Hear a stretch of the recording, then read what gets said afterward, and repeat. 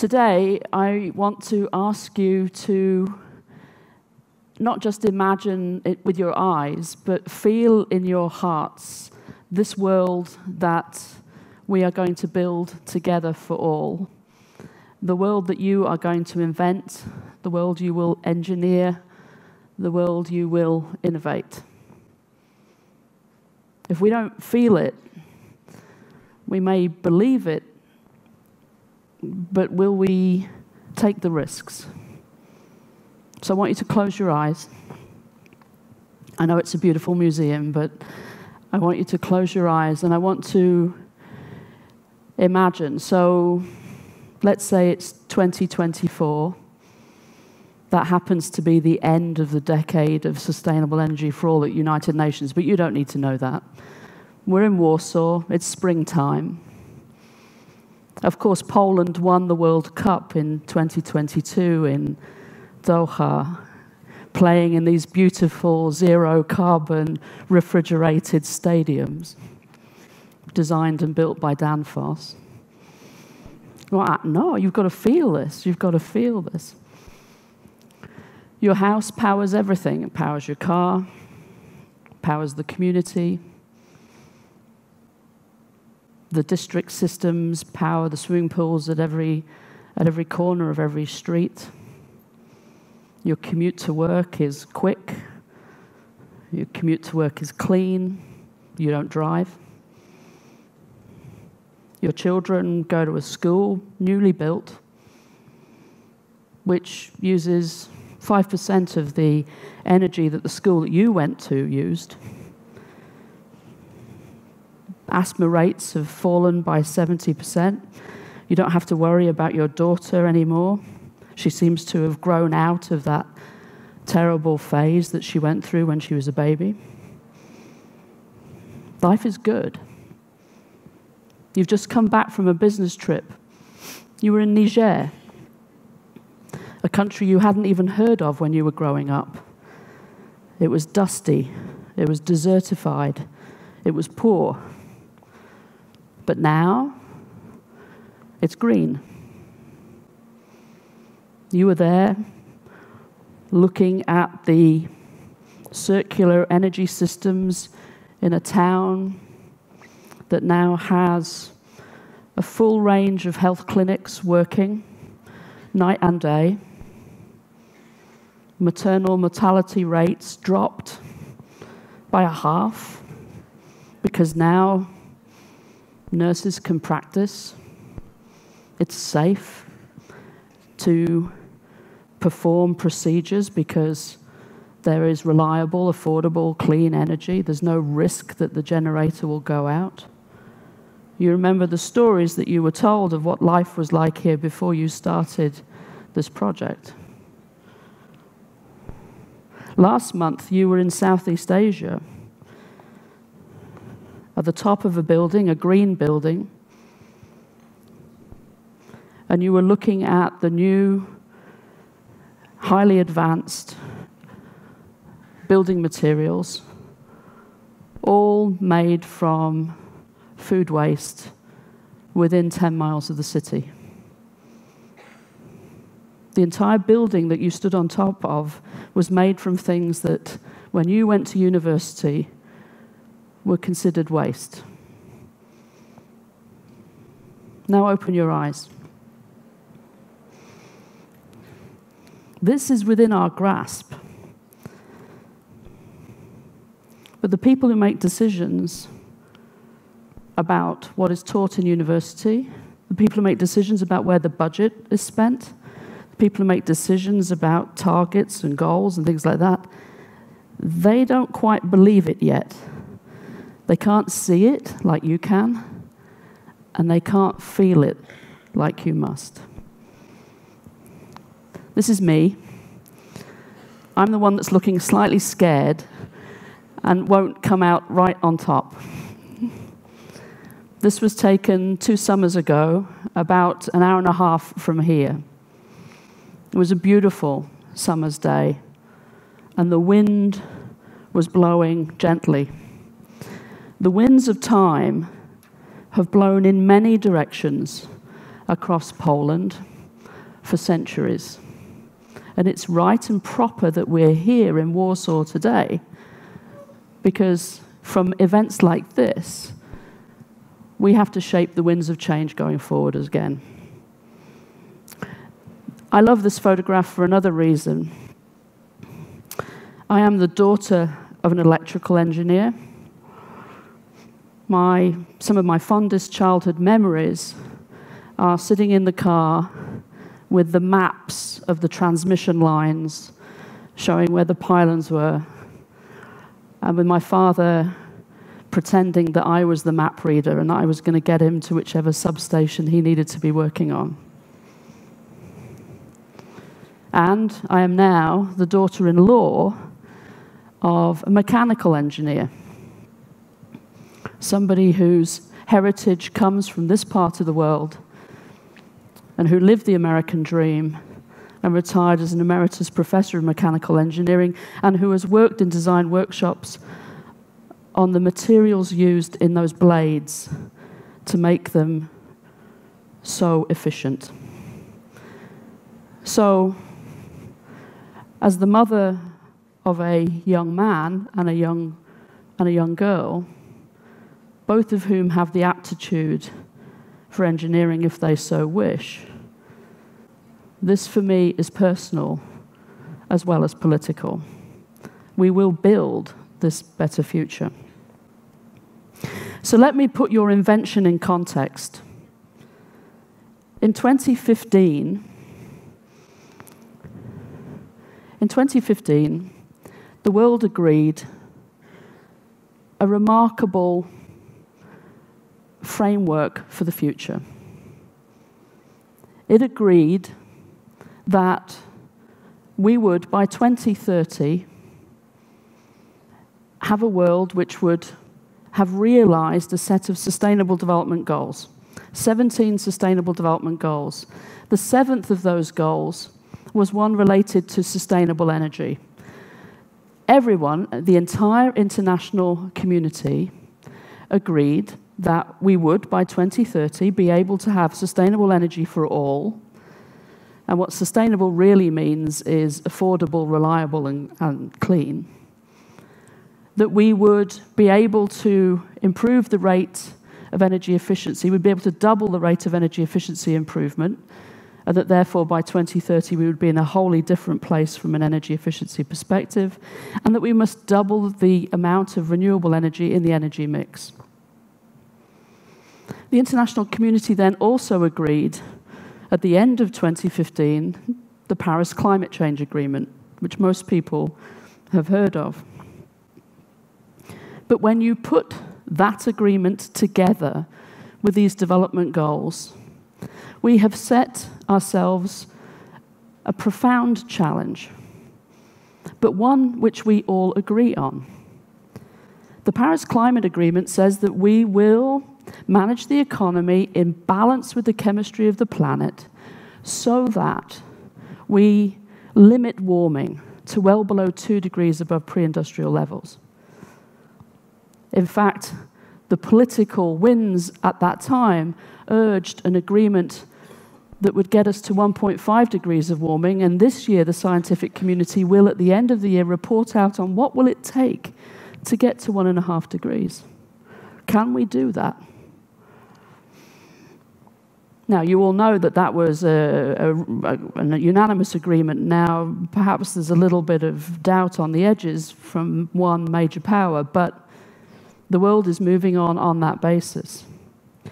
But let me put all of that in shorthand for you. The shorthand is that we have effectively agreed that by 2030, we will have gone a long way to decarbonize the energy system of the future. And in so doing, we will have had to decentralize the energy system of the future, and we will have used the technologies available to us. We will have digitalized the energy systems of the future. And this is where I want to call upon you to think and feel differently about this challenge. Because if we decarbonize our energy systems, and have that drive the decarbonisation of the economy. If we decentralise our energy systems and if we digitalise our energy systems, you will be revolutionaries. Because what you will have done, what you will have participated in, is the democratization of energy systems. Because remember when you closed your eyes and you're living in your apartment in Warsaw in 2024, you're providing energy. You are not a passive recipient of a centralized fossil fuel powered energy grid where the decisions about pricing are made by bureaucrats a long, long way away from you. No. You are revolutionaries as well as engineers, revolutionaries as well as visionaries. So let's talk about efficiency in this context. It's the piece of the mix that doesn't really get the respect it deserves. But we don't talk about it as if it is this revolutionary and exciting concept. It's sort of, oh, yeah, energy efficiency. And then the energy efficiency people go into a room to talk about it. Energy efficiency is the solution for these children's future. This school was built completely differently and built with completely different materials. The concepts of efficiency have been used to allow a generation of children to be educated. Efficiency is the way in which we will be able to breathe more easily. It is the future to your children's health. It is not a dry concept of equations it is not for textbooks, it's not for small side conversations in big conferences. It is the heart of the matter. I was talking to policymakers the other week who said to me, you know, why are you focusing on cooling? One big piece, the thermal economy, thinking thermally, very big piece of the challenge ahead of us. And the question was put in the, in the context of, you know, this isn't a development issue. This isn't something that you should be worrying about. Getting an air conditioner for every middle class person in China is not the priority for a development conversation. Being able to secure cooling efficiently without using HFCs is going to be the future productivity of that young population living in that city that is growing so fast in Africa and Asia. It is going to be the future of that young person's ability to work. Their productivity, their well being depends upon our ability to bring cooling solutions to them. Their medicines, their food, their nutrition security, whether or not they can eat well and healthily, depends upon our ability to bring cooling solutions. Efficiency is sexy. And I ask you, to put the sexy back into efficiency and talk about it in a different way. Policy matters. Nobody expects you to do everything. It is extraordinary to me that almost, well, just over half of the world's economy is still not governed by really strong efficiency standards. You need those they will allow you to go even further faster. They will allow you to do more with less. They will allow you to make more profit. They will allow you to be able to move this planet move more, more quickly forward. And we have to sort out why it is that governments and policymakers would leave money on the table, as it were, by not putting that forward. So, policy matters. Policy matters here in the developed world as well there's a huge difference within the EU, within the OECD countries, within developed economies, between the best performers and the least best performers. If every country in the EU was as efficient as the most efficient economy, we would see a lot of the arguments at the European Council and in the Commission and in uh, meetings of the European Union disappear because we would be achieving the rates of progress we need to be achieving. So, embracing positive deviance, being able to copy what the best team is able to achieve, has to be a way that we think about speeding up the dissemination of our ideas, our techniques, our technologies, our business models. So, policy matters and finance matters. Our financial system today does not put a value on thrift. Not thrift in that we would deny people those things that they aspire to. It's not that only the well off should be able to have all the appliances and gadgets and things that they need to live comfortably. The point is that with energy efficiency, everybody can have those things, but running off much less energy. But the idea that we can do more for more people with less is not built into the financial systems today, and they do not see a value in demanding efficiency yet of their customers and of their, their investees. And we are going to have to bring this conversation together so that those of us who see that, see that it is possible and see the value in this will be able to bring the financiers along with us. So, policy matters, finance matters, and then the idea that efficiency will mean more equity in our economy, that those on lower income, that those who are marginalized, that those that live below and beyond the power lines, those for whom the energy system has never worked until this day, that they will be able to get the cooling that they need to be comfortable, the cooling that they need to secure their food supply, the heating they need to be able to study in school when it gets cold in winter, that people will be able to be lifted up because we can be more efficient with the use of our resources. This is the context of your work. This is why you can feel as well as see what the future is. And this is why I ask you to be passionate pioneers of the future of a more circular economy, the future of a designed economy that works for everyone. So I have some requests of you. One, ask different questions and take the time to ask the question differently. Put different people in the room with you to find the answers. Because by serving the person who is traditionally unserved, we will find answers for everyone. Don't take no for an answer. Shout if the policymakers don't get it focus on education of the financial system and imagine tomorrow today and build it with your heart as well as with your head. Thank you.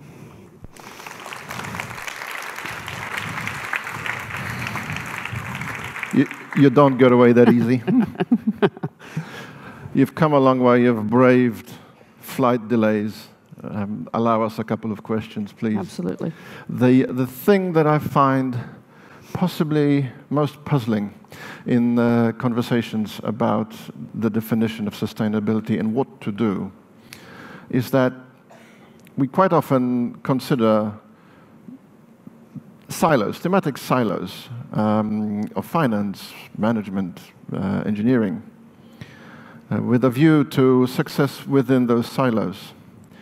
Ultimately, we are still all going to be working in those silos, but then maybe with a bit of luck from a perspective of a broader context, that sustainability is not a thing to work towards, but it is the thing that actually is at the, uh, the you know, fundament yeah. of all of this. It, how do we get there? How do we cross the chasm of understanding other than small steps and lots of them? What, what do you do on a daily basis to make this happen? Well, I think, I think that most, um, so I think the people who have the power to make decisions which would allow progress to go at greater speed and at greater scale can't see round the corner. They, they can't see what you can see. They can't see what is already being built or what might be being built. Uh, or what is possible. And so they are faced with a decision where they think that they are going to take a big risk for a possible return or less risk for a certain return. And creating the atmosphere, uh, you know, in your town, in your community, in a country, or internationally, whereby the policymakers will take the risk because they believe it can be built. That's something we've learned how to do, but we don't do it very often. And in my experience, what works the best is you don't talk about energy, you don't talk about engineering, you don't talk about design or buildings, or the, you talk about kids. And you talk about families, and you talk about what you want for those who come, come next. And you talk about children's health, you talk about um, your aspirations for their education, for their well being, for the well being of the community, for the kind of food that you want them to be able to eat and things like that. And that, that's something that every policymaker can relate to. And I think the best sort of the best politicians, the best um, business leaders, the best community leaders and activists do that, and they do that very well. And frankly, that's what it's all about. So when the, minister, the Prime Minister of Rwanda spoke to me just a few weeks ago about we've got to be able to get everybody cooking cleanly in Rwanda, that's because they face terrible deforestation if they don't fix the problem. But they have terrible problems of, of health from, from breathing in dirty air, and um, they all want something better for their children. Well, if we look at, if we look at uh, the, the, entire architecture of the problem, then we can see that, it, that air pollution and um, energy poverty and high costs and all those things, they're all actually part of the same picture. Uh, but uh, depending on the geographic location and your context, you kind of you're only seeing bits of it. Um, you, have you seen encouraging signs of, uh, let's say, politicians other than you know people in the in the UN who, who whose job it is to look at the whole picture, but uh, local politicians realizing that their picture is merely a, you know a, a component of the larger picture. No, I think I think there there's extraordinary there are extraordinary things happening all over the world, and extraordinary uh, advances happening all over the world. It's linking it all up so that it just is is going much faster, which I think is the the issue now. So. Uh, I showed a picture of the uh, of the Medina in uh, Marrakesh. You know, Morocco has gone from being an energy poor economy to being, you know, an extraordinary example of renewable energy at scale with the ability to export that energy across the whole of North America, Africa and, of course, into Europe if the EU would, you know, get things sort of sorted out. Mm. So, you know, one, two, Chile, Argentina, massive uh, improvements in, in the way in which they think about their energy future and extraordinary regulatory reforms, which are showing a big impact. The rate of energy efficiency improvement in China and India is actually quite stunning, coming from a very, very low base. But that's the race against a future urbanized society which is choking people. Mm-hmm. Um, you know, inside the EU, Denmark, of course, is the poster child for an energy productivity that most countries still only aspire to. And across, you know, the United States and the rest of Europe, you see communities becoming truly, um, or the beginning the journey of becoming circular. Mm-hmm. So lots to be really excited about. But how do you make that a tidal wave? I think that's the challenge for us. So perhaps actually connecting this to the, the question which we have uh, uh, before us, how can normal people get involved? Um, uh, it seems as though normal people actually have quite a lot of power in terms of uh, connecting and, and, and somehow pushing this, this, this wave forward, this wave that you talk about. So, um, so I think the, the opportunities to get involved are really uh, locally and, and nationally. Um, if, if your country is uh, not able to explain to you how they are going to provide affordable, reliable, and clean energy. And you need clean because if not, then they are going to be passing on to your children some very big debts uh, in the next 10 to 20 years, then you need to be engaged with organizations that are in that fight. At the local level, there's much that local communities can do to now take some of their energy future into their own hands.